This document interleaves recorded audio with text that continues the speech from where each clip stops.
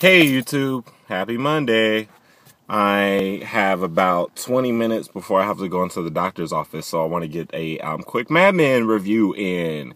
And um, I just had to say that um, this episode was really um, good. I really liked it. It was really, um, I was really intrigued the whole way. It was very um, suspenseful, kind of in a way. Anyway, let's get to it. So, you know, at the end of the last episode, Stanley.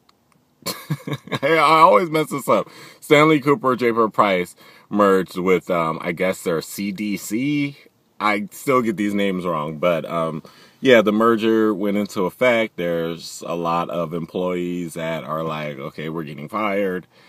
Um, you know, so just a lot of hoopla going on. Um, and I think that might have been what made this episode exciting because there was an excitement of something new, I guess.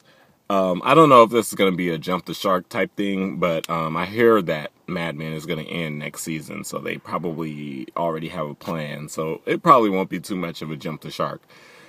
Anyway, oh, and by the way, so I'm going to be pretty wired.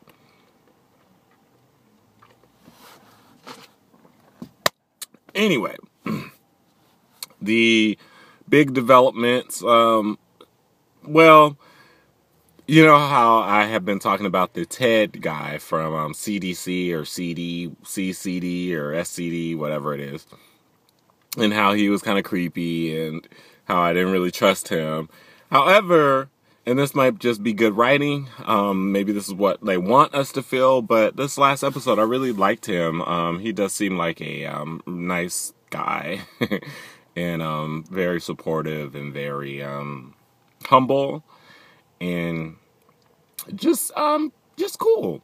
Uh, I hate when my phone does that. Anyway, the dynamics between this Ted guy and I think his name is Ted. I'm not sure, but um, the Ted guy and Don Draper were interesting because, you know, it really just showed.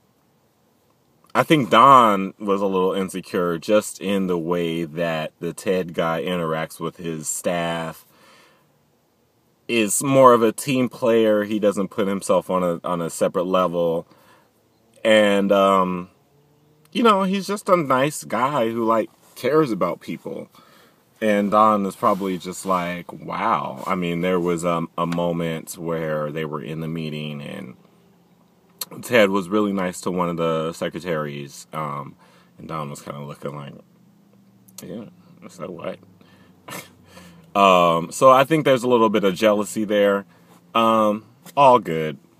Um, and now, uh, now that I'm talking about it, it makes sense because if you think about what happened in the episode, um, Don probably felt a little powerless. Um, this Ted guy's coming in. You know, he's nice. People like him more. You know, already. Even people at um, SCDP um, are liking him a little bit more than they like Don or appreciate him or respect him or whatever. It seemed like um, when he came into that meeting like 45 minutes late, it seems like there was like, oh, that's Don. Um, so what I'm saying is, um, he probably felt a little bit like he was stripped of his big Don Draper powers. That's why he, you know, had this power trip with the um, lady that he's screwing. I don't know her name either, but they had this whole nine and a half weeks thing where he told her to go to a hotel and made her stay there and made her wear this dress and you know just just um taking this power over her and yeah now that i think about it it probably was because he felt a little like a shot to his power shot to his ego um, with this Ted guy coming in and being nice, nice and likable and stuff like that. So that makes sense. I have to say the whole nine and a half week sex thing was interesting to me. I, I liked it. Um, I think it was a good dynamic, and I um, especially liked how it ended, where she was like, "No, let's go home." Um, and you know he had to go home, and he had this big sad puppy dog face. Um, you know, I always talk about Don Draper and how I don't like him, and not that I like loved him on this episode, but yeah, he has this issue with home. He has this issue with, you know, it goes back to. I'm sorry, I, I suck at names, but the girl that he was messing with before he ended up um, getting engaged to Megan, when she said, You only like the beginnings of things, I think that's his deal. Like, he'll have, um, like with Betty and with Megan, it's this fairy tale romance, you know, we're gonna get married. She's beautiful. We're a couple. Um, with Betty, you know, we're having children. So it's the idea of perfection until it gets hard, and then that's when he's like, "Okay, this isn't this isn't cool anymore. I don't like this anymore. So I'm out of here." Um. So yeah, Don Draper is weird. I hope this lady isn't getting into this Mustang. I'm gonna stop. Okay, good. She's not. So um, I gotta speed past this because I talk too much, and it's already kind of close for me to go into the appointment. A couple other things though. Joan, um, who I love, um, she had some kind of issue.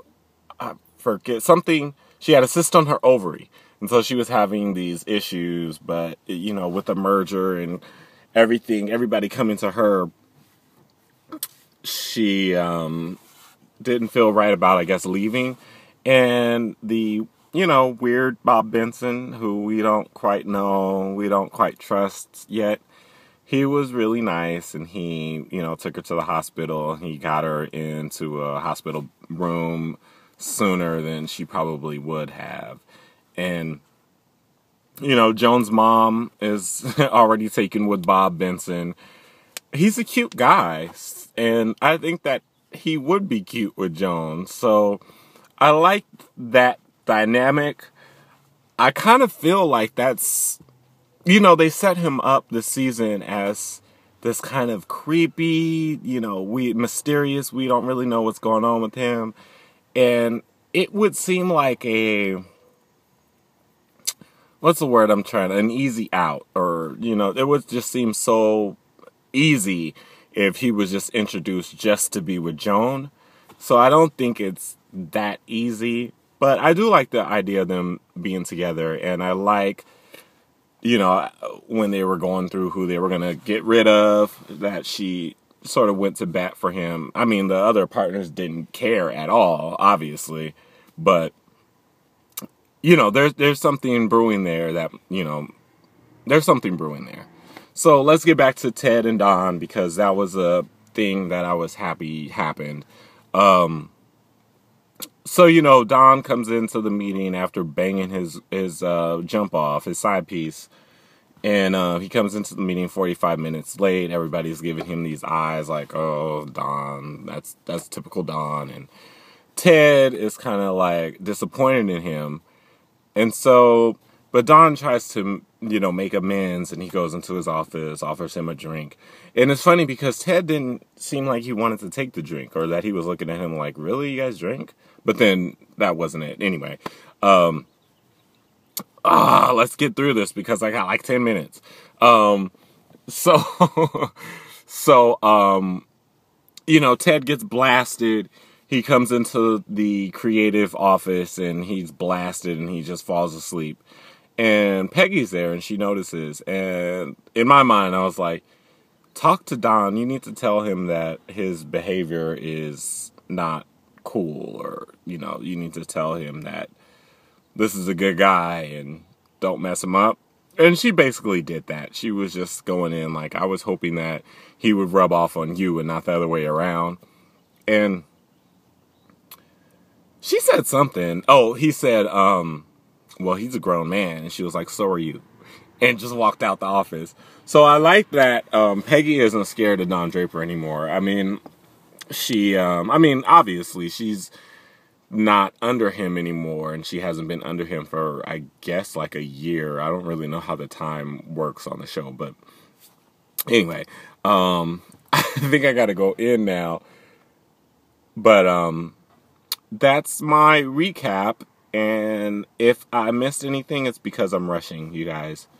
Um, so I guess I will see you guys next Monday. I always stick out my tongue too. Why do I do that? Okay, bye.